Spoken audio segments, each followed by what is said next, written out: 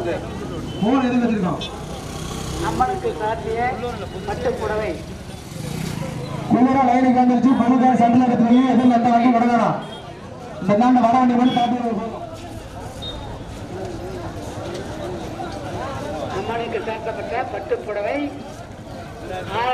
நூற்றி ஐம்பது பட்டு புடவை அம்மனுக்கு சாத்திய புடவை விளையாட்டு குச்சி காட்டி மிரட்ட வேணாம் பந்தோபஸ்து பண்ண மட்டும்தான் தடுப்பு மட்டும்தான் குச்சி ஓங்கவே கூடாது அடையாளத்தை தான் கையில குச்சி கொடுத்துருக்குது நான்காவது குழு வந்தாரா ஒரு ஐம்பது பேர் தனியா ஆகையால ஒன்னு ரெண்டு